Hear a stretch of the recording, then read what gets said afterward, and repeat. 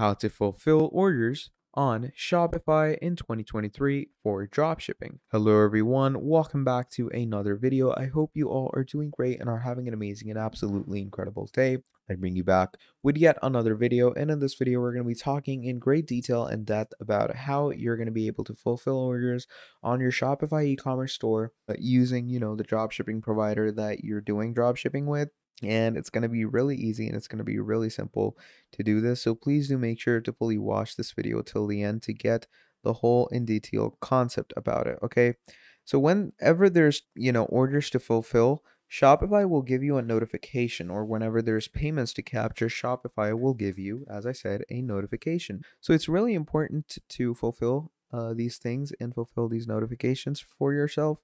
So what you're gonna do to, uh, you know, fulfill it is first of all, we're going to go ahead and log in with our page. Okay. And uh, as we're going into the logging in of the page, what we are going to want to do is we're going to make sure that our account is fully set it up because most people, what they do is that they leave their account uh, half set it up and that becomes a huge issue for them later on. And that is something that I don't want for you to happen, you know, the user watching this video right now.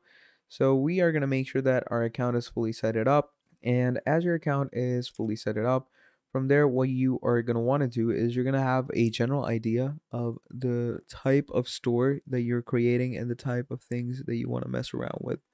So as you can see, once we have loaded into our store over here, there's a few things that we need to capture. Now, what do I mean by we need to capture some things, right? So I mean by that is we're going to go ahead and there's two things. So there's pre-fulfillment and then there's fulfillment. Pre-fulfillment is product weight, shipping rates, and packages. And then there's fulfillment, which is providing tracking. And then there's finally post-fulfillment, which is, you know, when your job has been done. So let's say when someone, you know, actually buys something from you, you're going to go up here in orders. And once you go into your orders, Obviously, the servers at Shopify are a bit slow right now, but once you go in orders, you're going to find all the um, orders that need fulfillment. So you can find all those into your main Shopify section from there. Then moving on, basically what you can do uh, to fulfill the different statuses of the orders, you can uh, find yourself to um, go ahead. Okay, so let's say I'm just going to wait for this page to load up. So what you're going to do is you're going to go ahead into your dropshipping handler. So let's say in my case, I was dropshipping through CJ dropshipping. Okay. So I'm going to go over to CJ dropshipping. And when there's an order that needs to be fulfilled, uh, what CJ helps us to do is basically it's going to give us the options to go into the orders dashboard. And in the orders dashboard, what you're going to do is you're going to go ahead and uh, choose the different uh, orders that need to be fulfilled. And once you fulfill them, you can go back to your Shopify store and wait for the payment. Okay, if the payment's not there, then you don't need to send it or give it a yes or a, you know give it a go on the main store. To give it a go on the main store, you're gonna wait for the payment to come in. Once the payment has finally come in, then obviously go ahead, give it a main go on the store, and you should be good to go. And moreover, on Shopify, what you can do is uh, like once you're on CJ, we're gonna go into My CJ. Okay, and My CJ is basically how you're gonna be setting into your Shopify's app market with the CJ Dropshipping Center. And moving on, once we load My CJ in, I'm gonna go ahead uh, and if you don't have a CJ, by the way, uh, the, the sign up process is really simple. Uh, again, if you're in orders and the orders need fulfillment, just go ahead into CJ over here. Uh, once you go ahead into your CJ, trust me, the working is easy scrappings. And uh, you're going to enter the email that you want to make a CJ account with for drop shipping. So paste that here. Then obviously comes your basic uh, password. So I'm going to go ahead with that. Here we go. Then you can confirm your password. So here we go with our password confirmation. Click on agree and then finally click on next.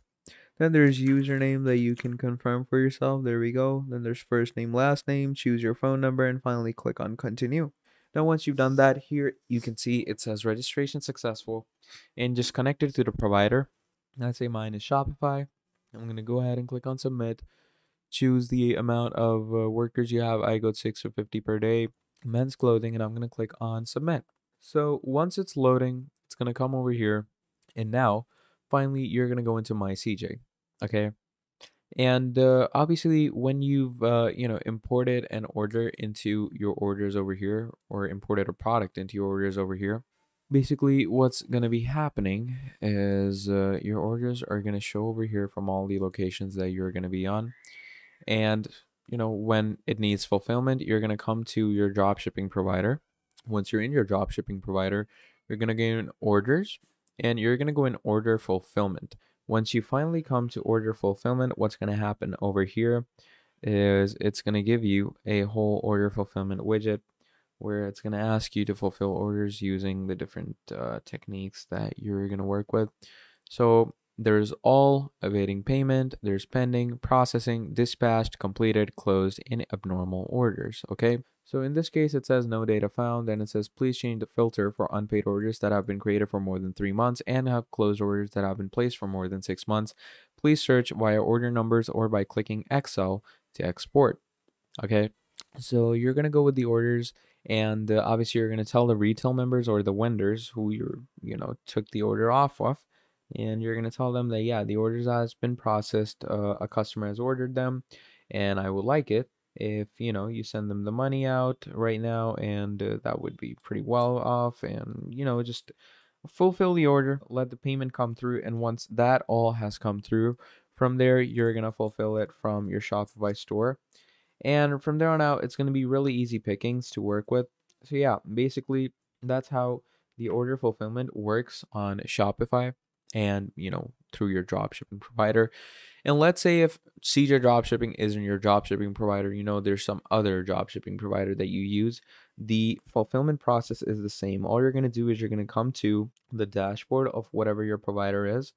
And once you come over to the dashboard of your provider, from there, go into your orders, go into your orders fulfillment, and just fulfill your order and everything should be good to go from there. So I hope this tutorial was extremely helpful to you. And uh, if you have any queries regarding this video, you can let me know down in the comments. And uh, yeah, I guess I'll see you next time. Before signing off, please like and subscribe to the channel and uh, leave down a nice comment if you watch the video. And please don't forget to share this video with uh, any of your friends in need or your family. And uh, I hope you all have a great day. So until next time, I'll see you later and goodbye.